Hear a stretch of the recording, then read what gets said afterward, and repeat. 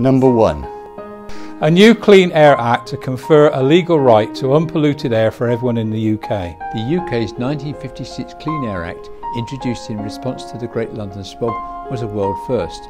Britain has since lost its mantle as the world leader in tackling air pollution. A new act should adopt World Health Organization limits and give local authorities extra powers and resources to tackle all sources of pollution. Number two. Ban sales of new diesel and petrol cars from 2030 and reverse the cut to green car grants. The government's 2040 target for banning sales of new diesel and petrol cars is weaker than that of China, India, and Ireland, all of whom aim for 2030.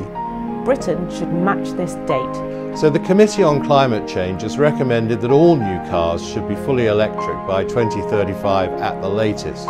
We all know that hybrid and fully electric vehicles are currently more expensive and we're told by experts that it could remain like this for more than five years.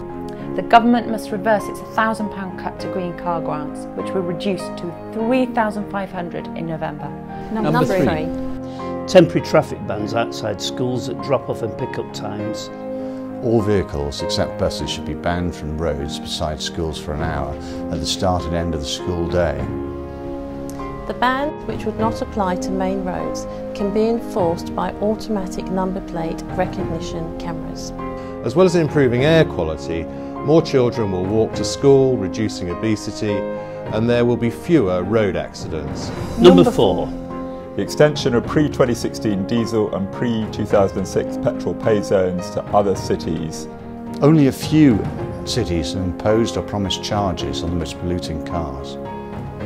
Dozens of other cities with illegal air quality should do the same. Number five. Pollution monitors in every postcode. When people are given precise and up-to-date information, the live local monitors about the level of air pollution near their homes.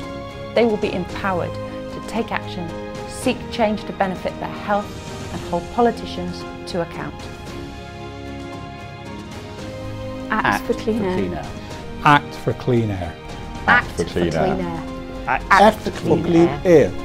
Act for clean air. Act, Act for, for clean, clean air. air. Act for clean air. Act for, Act clean, for air. clean air.